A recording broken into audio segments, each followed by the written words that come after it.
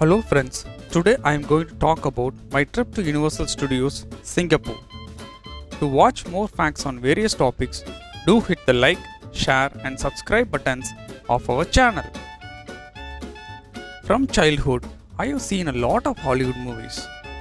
I always remembered hiring a video cassette player during our summer vacation and we watch movies continuously without any break. Few years later, we bought a VCP ourselves. Then the love for Hollywood movies increased. Going to the nearby video cassette rental shop and asking for a new Hollywood movie every weekend was a routine. As a child, I have always imagined how could someone make Hollywood movies like this? For instance, the action sequence in the movie Indiana Jones, Waterworld, Back to the Future, and special makeup and effects in horror movies has always created curiosity in me. The curiosity has always triggered thoughts of visiting any of these Hollywood studios. I have always imagined one day I will visit them. Recently, I got an opportunity to visit Universal Studios in Singapore. Even though I did not get a chance to visit Universal Studios in Hollywood, I am content with what I got. With the curiosity and my childhood dream getting fulfilled, I was very eager to spend a day excitedly in Universal Studios. We planned our trip well in advance. We booked the 30 minute early entry ticket in Klook. We reached the Universal Studios on time and was very happy to watch the Universal Globe in front of the studio entrance. My DSLR started doing its job. Since it was a day before Christmas and being a holiday season, there was a big crowd, but my thirst was driving me to use the time to the fullest. I was able to bring back my childhood memories every minute I spent in the Universal Studio. The Universal Studio was decorated for Christmas, which was very special. I also bought a Universal Studio guide which explained about available events, features, and facilities during the Christmas season. There were seven different themes in the Universal Studio Singapore. The themes were named Hollywood, Madagascar, Far Far Away, The Lost World, Ancient Egypt, Sci-Fi City, and the New York. We went inside the Universal Studio through the Hollywood section. The Hollywood section gave an ample opportunity to spend our money. All varieties of themed shops were available where you could buy apparel, toys, novelties, hats, souvenirs from our favorite Hollywood blockbusters. The Hollywood section also has the dark room where you can pose and capture the exciting moments of your visit to Universal Studio. After crossing the Hollywood section, turning to the left, we reach the Madagascar. We were surprised to see a large ship anchored inside the Universal Studio. The set was so much authentic that you will not be able to find any difference from a real ship. It was almost like we were traveling in Madagascar. We boarded the boat along with Alex, Marty, Melman, and Gloria. It was an unforgettable fun ride filled with adventure. The ride captured all the important moments from the Hollywood movie Madagascar. Each and every place in the Universal Studio was picturesque. Such were the creation of the sets that were realistic. After completing Madagascar, we went to far far away world where we met the Shrek. The castle of far far away land was huge and real. We went into the castle for a 4D adventure. After the short introduction, we went inside the theater to watch the movie. It was a short movie which depicts Princess Fiona and Shrek's fairy tale adventure.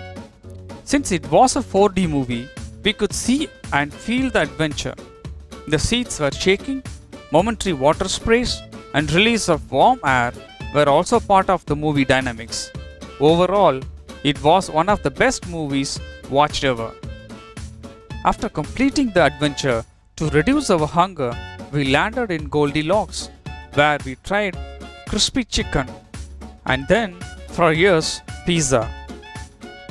After having had our fill, we continued our visit to the Lost World, one of our favorite sections in Universal Studio.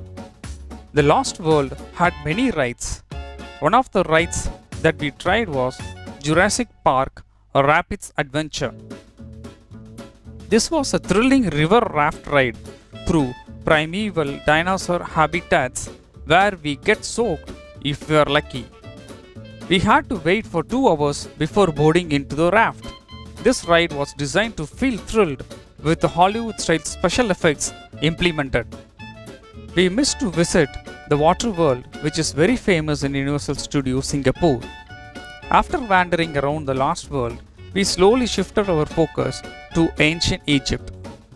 Revenge of the Mummy was one of the best in the park. We had our lunch spicy biryani at the Oasis Spice Cafe. Then we went to the Sci-Fi City where the Autobots such as Bumblebee and Optimus Prime welcomed us. We went for the Transformers The Ride 3D battle. The ride revolved around a small story. We, as trainees, needs to join the Optimus Prime and the Autobots in the ultimate battle against the forces of evil. The talking Megatron and snaps of the Bumblebee were some of the other activities we had to do. The final section was the New York. It was an opportunity to see and feel the new and old New York City in one place. How could I miss out the lights, camera, action? We enjoyed walking through New York's famous metro streets. The lights, camera, action, hosted by Mr.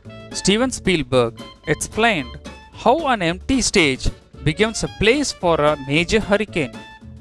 The act started by showing a peaceful New York City. The news broadcast warned about a hurricane hitting New York City. Then the mood in the stage and environment changed. This change was brought about by stunning sound effects, unbelievable light effects, followed by action sequences manipulated by machines and not any green screen animations. We could feel the intensity of the hurricane, the breeze, the fire, the hot air, the vibrating floors while we were standing on the stage. We were really blown away by this act. What we saw was only a bit of the Hollywood movie making.